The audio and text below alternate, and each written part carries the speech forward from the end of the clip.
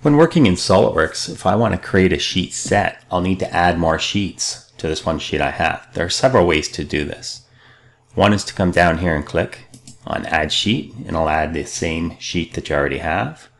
Or I can right click on the sheet and select Add a Sheet. I can also right click on any of the sheets here in the tree and I can add a sheet from there.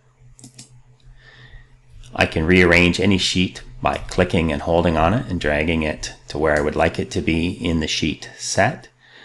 I can also delete sheets by right clicking on them and selecting delete and then yes. If I want a sheet to have similar views to this but maybe different dimensions or features highlighted, I can right click on that sheet and tell it to copy the sheet. And then again right click and paste the sheet